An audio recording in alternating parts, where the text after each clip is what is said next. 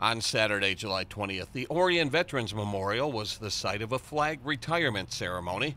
Representatives of VFW Post 334 and the Orion Veterans Memorial Board were on hand to properly dispose of approximately 200 flags that had become tattered and torn after years of use.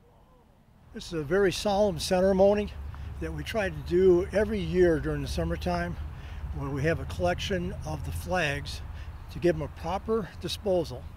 We call it a flag retirement because these flags mean a lot to us and the only way to properly dispose of a U.S. flag is by putting them in the fire and burning them.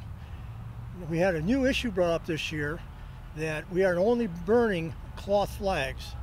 The nylon flags and plastic flags were taken and later we're going to dispose of them. We cut out the square of stars and once it's separated from the flag, it's no longer a U.S. flag. Then we dispose of it and bury it. If you have a flag that shows signs of wear and tear, don't throw it in the trash. There are several locations in the area that will accept your flag to give it a respectful and dignified retirement.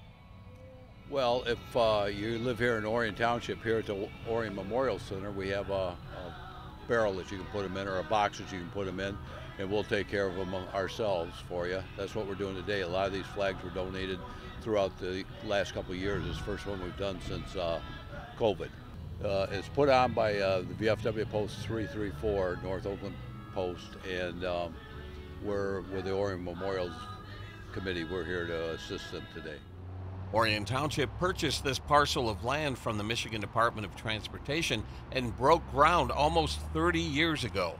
The Veterans Memorial has grown over the years and has become a community gathering place on Memorial Day and Patriot Day on September 11th, as well as special events like this flag retirement ceremony.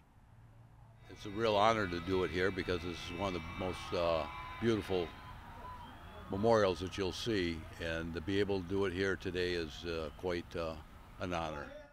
To make a donation or for more information, visit OrionVeteransMemorial.com in Lake Orion. This is Joe Johnson reporting for ONTV News.